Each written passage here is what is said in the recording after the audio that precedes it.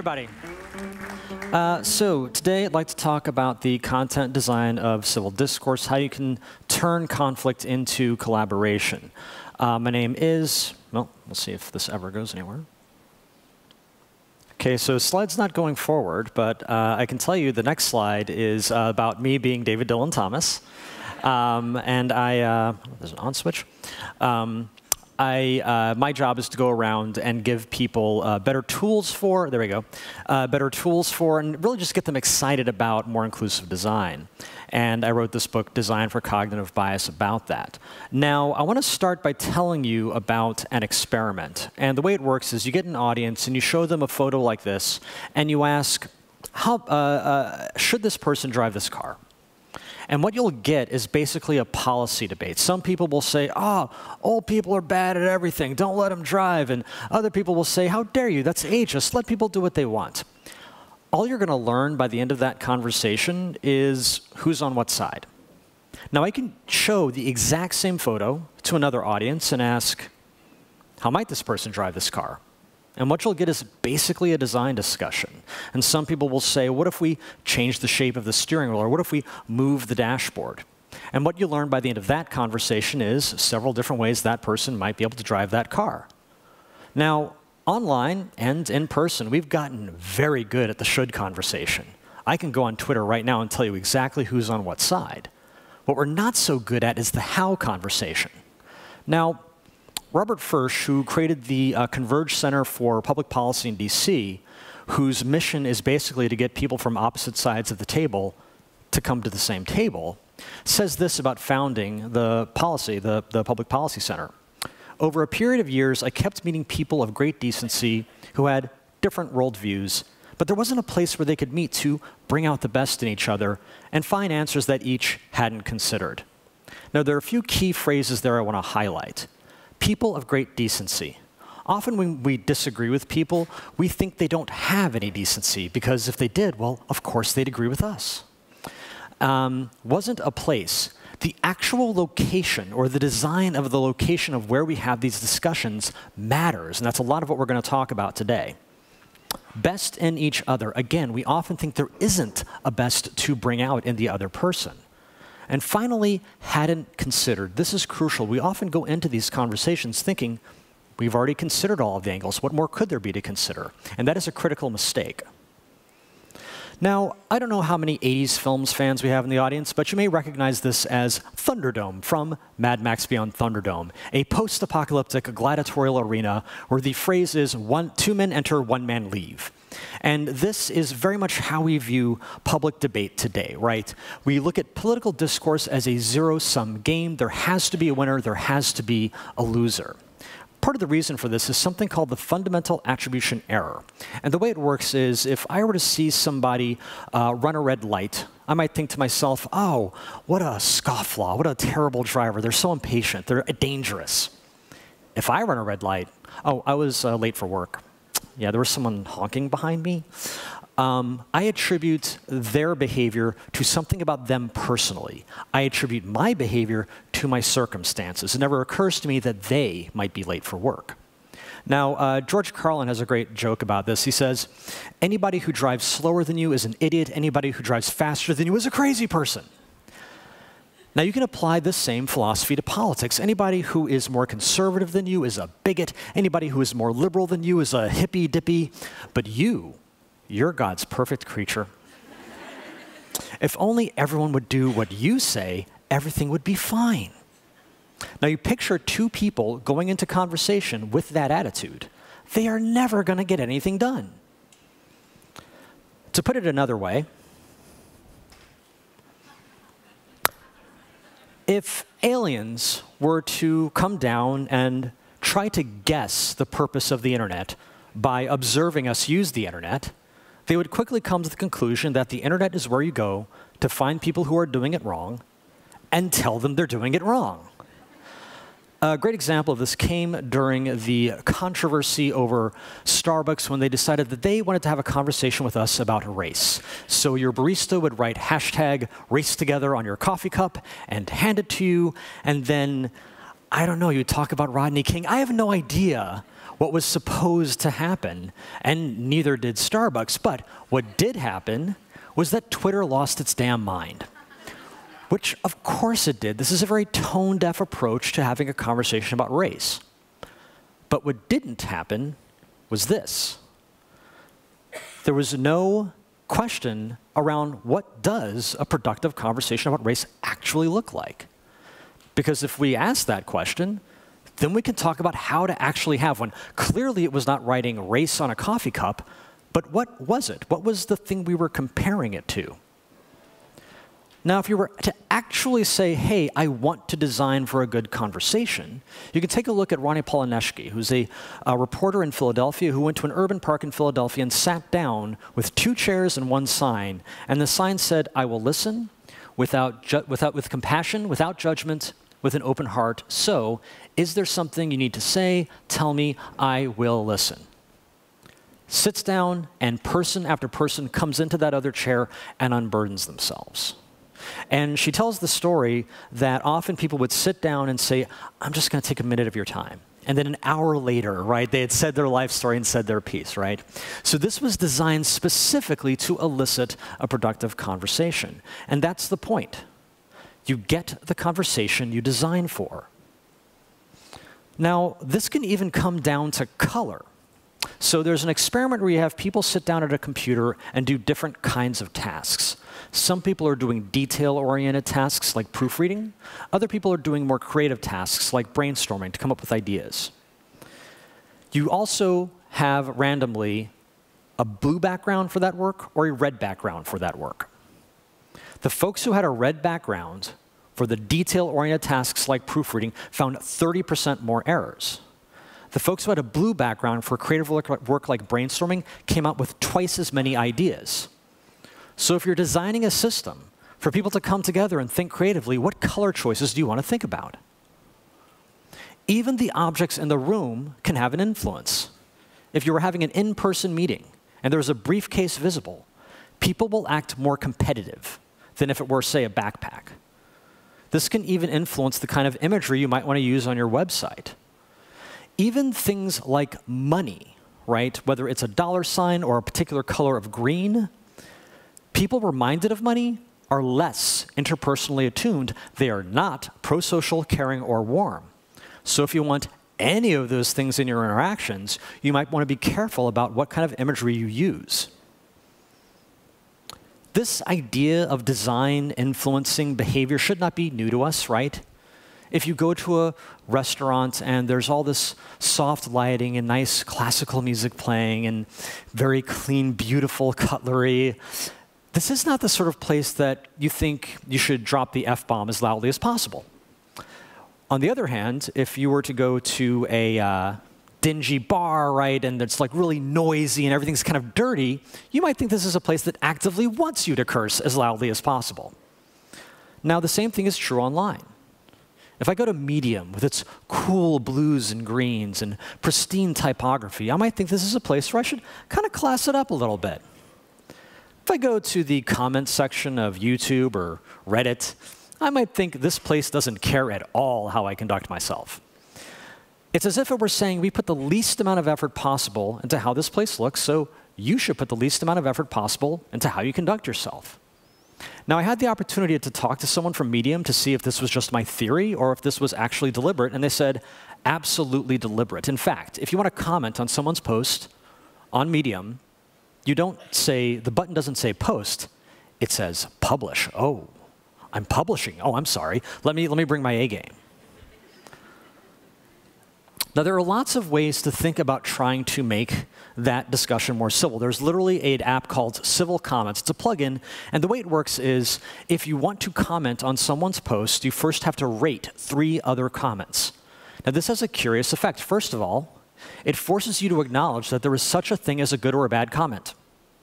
But then it makes you apply your own standard to that. And we will adhere to our own standards far more strictly than we will to any standard someone hands to us. And so what people would do is they would go to the website, uh, comment on a post, or um, uh, rate a post, and maybe rate it poorly, and then go back to their post and see that they did the same thing. and then change their post. In fact, the majority of people who went through this process would go back and edit their comments before they posted it. Who does that, right? By the way, another effect if I'm rating someone else's comment, someone's going to rate my comment. So again, I'm encouraged to up my game. Now, unfortunately, civil comments is no more. It failed to find a uh, coherent business model. And when I told a friend of mine this, he said, there are more tools that we need than there are business models for. So we need to start thinking very carefully about how to make sure these things get to exist, whether there's a good business model or not. Fortunately, this one is still with us. It's called Rethink. Uh, Trisha Prabhu was 14 years old when she got into the Google Science Fair with this project. And what it basically does is it notices, hey, that thing you're about to post to social media, if you're about to post something hateful, Rethink detects it and says, literally just pops up two sentences, uh, Rethink has detected that this might be hurtful to somebody. Are you sure you want to post it? In the test group, which was adolescents, by the way, not the greatest impulse control, over 90% of the people who saw that pop up stopped and did not post the hateful thing. Now, this tells us a couple things. First, most of the people out there are not evil, they are simply thoughtless. It does not occur to them that there is a human being on the other side of that comment. The second you remind them of that, they back off. The other thing this tells us is it only takes two sentences to stop them. We're sitting here lamenting the state of social media, saying it is an unsolvable problem. Two sentences from a 14 year old. I think we can do this. Another great tool to use here is question design. So that policy center I was telling you about before, Converge, again, they have to get people who hate each other to come to the same table. One of the tools in their tool belt is question design. So if the issue were food deserts, which, if you don't know, are basically places, usually in urban centers, where there's simply not access to healthy food, a question you might think would be appropriate is how can we get healthier food into the supermarket? This, strangely, is a very divisive question. It has a lot of assumptions baked in. What they might ask is, how can we work together to shift consumer demand to healthier consumption? You see what they did there? Shift consumer demand. If my primary interest in food is monetary, and you say the words shift consumer demand, I'm thinking, oh, I can get in on the ground floor of that before anyone else gets there. Tell me how I can help. Healthier consumption. If I live in the community, if I work with the community, healthier consumption, yes, please tell me more. How can I help? Anyone you want at the table can see themselves in the question. But that's not even the best part. Look at the beginning of the question How can we work together? I cannot answer the question lest I also describe working together. Let's go back to our initial question How might this person drive this car? It's good enough. But what if I asked, how do we do a better job of moving people around? Because that's why she was in the car in the first place. She was here, but she wanted to be over there. And if I frame it this way, things like public transportation are on the table. If you want to craft these more inclusive questions, start with this. For any should question, try to understand what the goal of the proposed solution is, and then frame a how question around that goal. With should this person drive this car, the goal of that, presumably, is safer driving. Okay, well, answer that question then. How do we get safer transportation? How do we get safer moving people around? And you'll notice if you answer that how question, get the answer to the should question for free. Another problem we have is that our reactions online are extremely binary, right? Very linear. So I can say, yes, that's awesome, or oh, that's terrible, but I can't really ideate on anything. There's no, hey, I want to try to explore this button. If there were, what might that do? Well, in real life, there's an exercise called 8 Up uh, that tries to generate good ideas from multiple people. And the way it works is you get eight people in a room, and you ask them some sort of design question like, how might we do a better job of moving people around? And you say, each of you has three minutes to write down three ideas how do we do a better job of moving people around? Three minutes are up. Now I've got eight people with three ideas each, and I say, great. Turn to your neighbor, show them your three ideas. They will show you their three ideas. You got 10 minutes, take those six ideas, whittle them down to two. 10 minutes goes by, now I've got pairs of people with two ideas each. I say, great. Turn to the pair next to you, show them your two ideas. They will show you their two ideas. Take those four ideas, whittle them down to two. And you can see where this is going. By the end, I've got eight people, four ideas between them. They're going to whittle that down to one idea. Now, the beauty of this is they've done research, and if I want a great idea and I say I put eight people in a room and say you can't come out until you come up with a good idea, I'm going to get a mediocre idea. Or I can say, hey, eight people, each of you come up with an idea, we'll vote on the best one. I'm going to get a mediocre idea. But if I progressively combine the DNA of everyone's lived truth into that final idea, I can get a great idea. Now, this approach has a few advantages. First off, it mutes the loud talkers.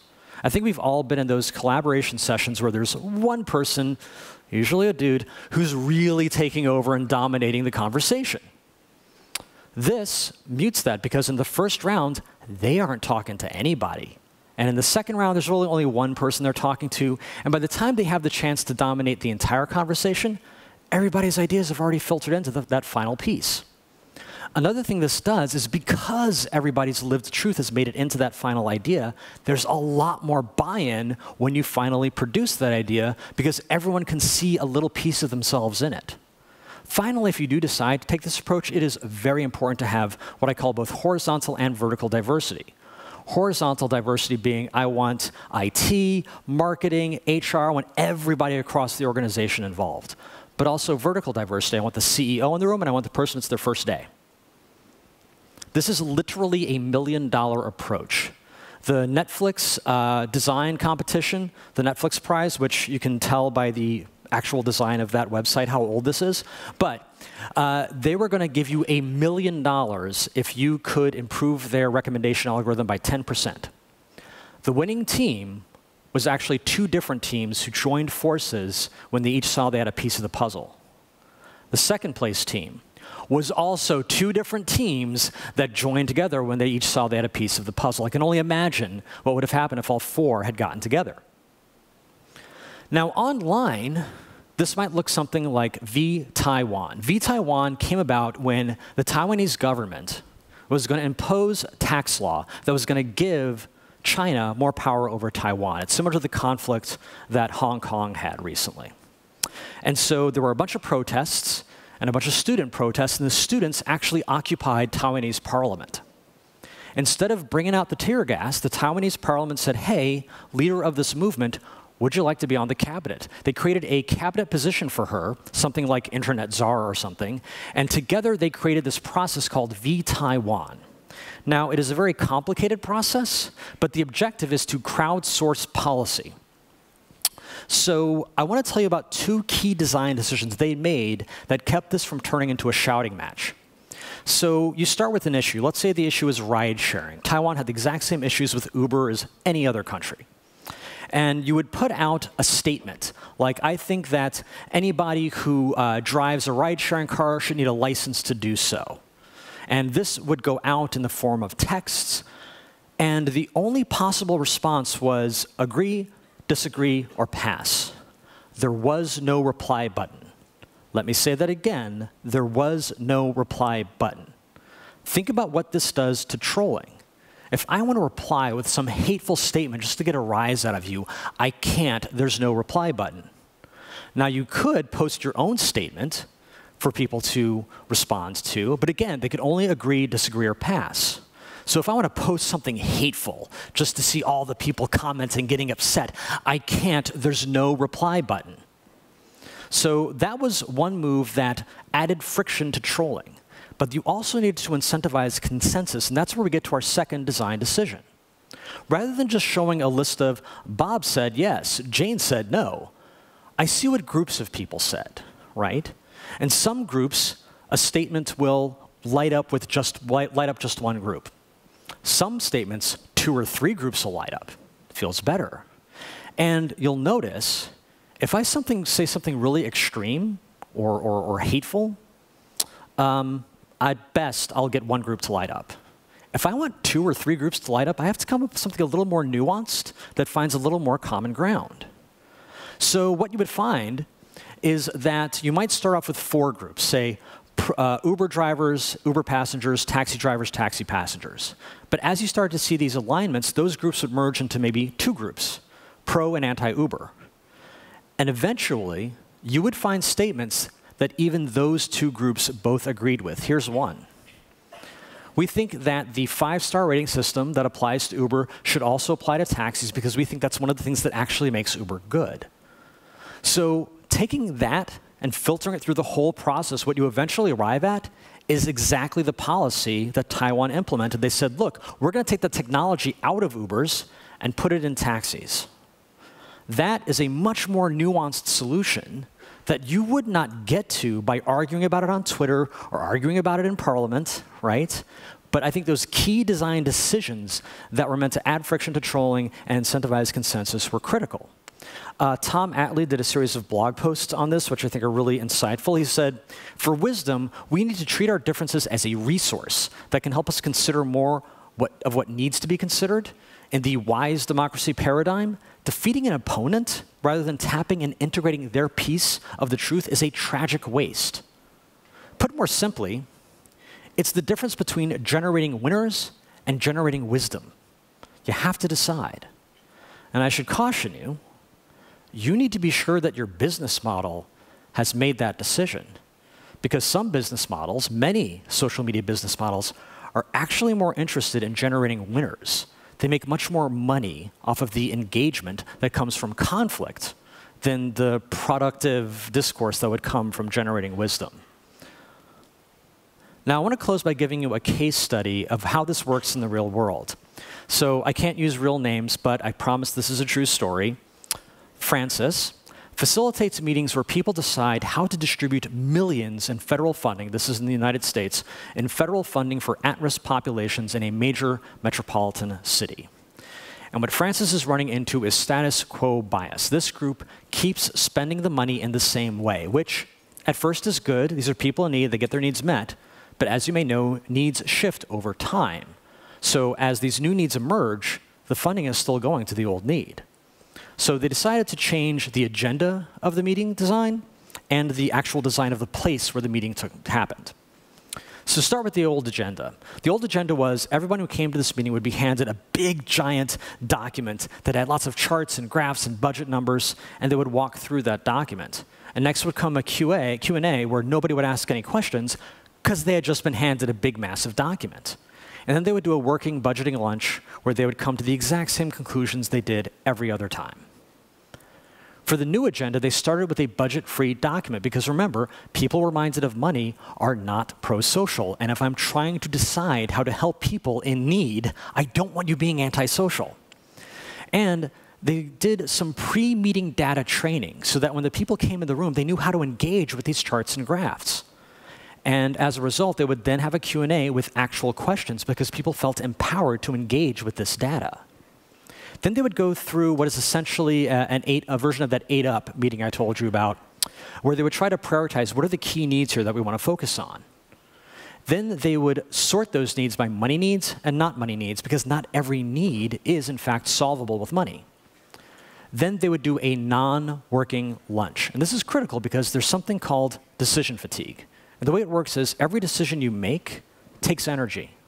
And the more decisions you make, the less energy you have and the quality of those decisions goes down. Unfortunately, this is true in judging. If you go into a courtroom, they took, did a study, they looked at the judge's decisions. And at the beginning of the day, the judge would be handing out maybe 65% favorable decisions, right? They just had breakfast, they come in, they start the day. And then as the day went on, it would drop to nearly zero before lunch. They would come back from lunch, and then magically it would be back to 65% and then start dropping again. Now, this should terrify all of us because that's people's lives that are being judged by hanger. But in this situation, it made sense to say, hey, everybody, just take lunch. Get to know each other, right? Don't worry about any of that stuff. Now, finally, make the budget decisions. We went to the last possible minute to really talk about the money. So, those were the changes to the agenda but they also changed the space. So this was held in a room that had maybe 100 chairs in it. It's very hard to move around. And when people feel confined, they are not creative, they are not collaborative. There was no room to move. So they actually had these nice big windows in the room. And as it turns out, people like to be near light, especially natural light. But you couldn't get to the windows because, again, there's no room to move. The seating style was kind of like this lecture style, so everybody facing one direction, which is not very good for collaboration. And there was no green space. There was nothing alive in the room, no plants.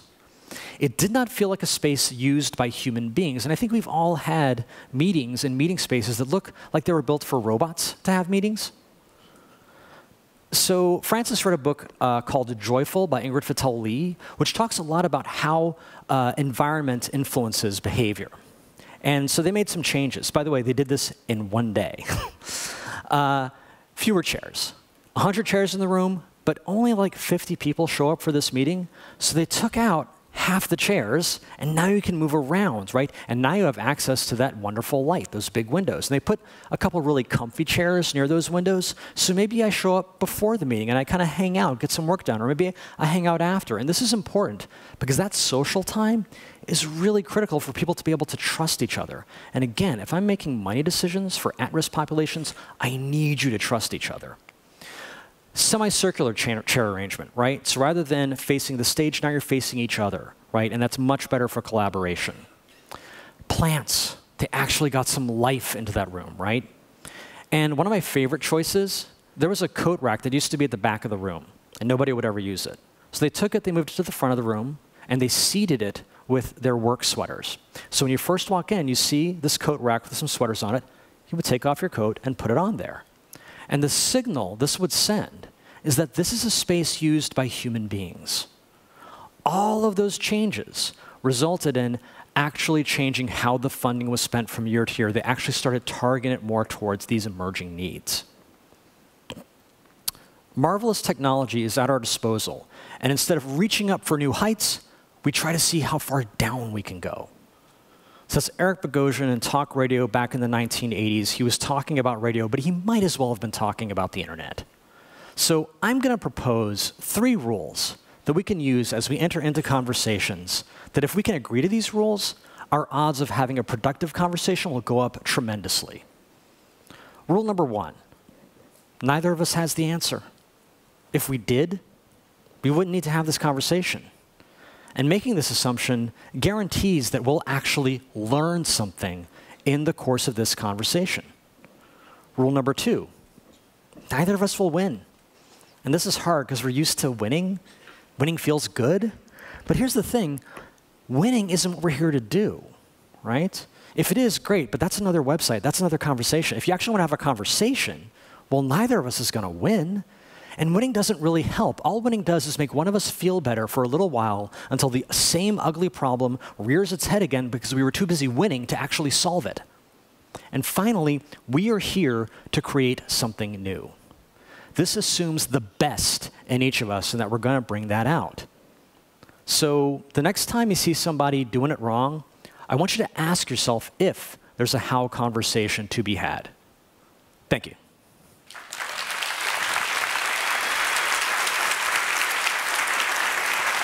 Thank you, David. Thank you. Do you want to stand there? Do you think that this is a good?